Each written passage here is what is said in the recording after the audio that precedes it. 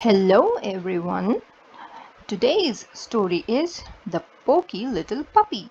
It's adapted by Kristen Depken and it's illustrated by Sue DiCicco. The Poky Little Puppy.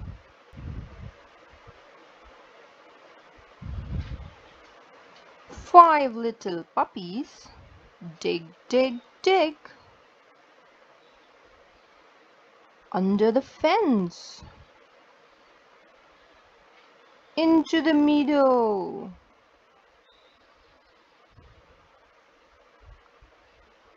Run, run, run down the road, over the bridge, across the green grass. The hill, two by two.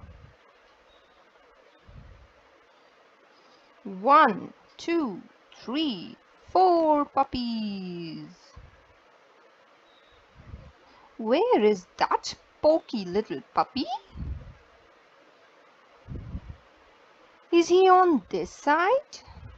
Mm-hmm. No, a little snake. Is he on that side? No, a big grasshopper. There he is. Run, run, run. Roly poly. Pell Tumble Bumble. What does the poky little puppy see? A big red strawberry. The puppies are hungry. Run, run, run across the green grass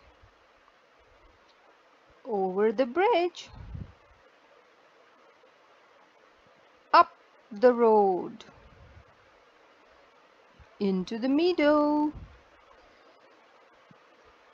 under the fence, fill up the hole. Home sweet home.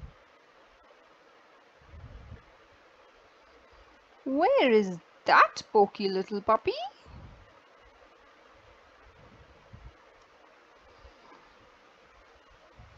It's still near the fence. That's all for today. I hope you liked the poky little puppy. I liked that.